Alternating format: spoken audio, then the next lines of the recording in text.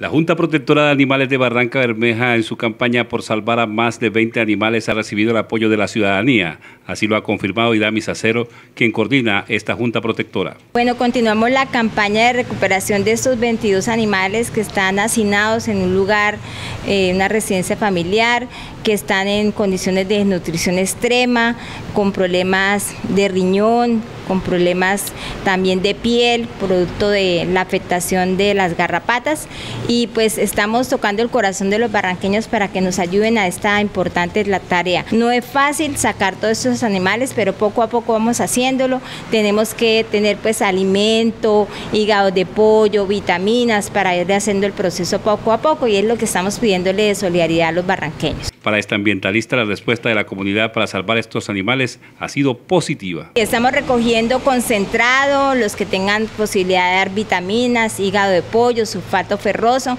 pueden acercarse a la Junta Protectora de Animales, que allí estamos canalizando todo. Nos han pedido la dirección para ir hasta allá, pero no es eh, eh, conveniente porque los animales tienen una dieta nutricional, porque ellos tienen totalmente cerrado el estómago. Y si les vamos a llevar por bultos y a tirarles la comida a ellos allá, se nos pueden morir. Entonces, entonces, eh, lo estamos haciendo poco a poco y también para preservar pues la imagen, la privacidad de esta familia que está vulnerable. Las ayudas se siguen recibiendo en la Secretaría de Medio Ambiente de esta municipalidad.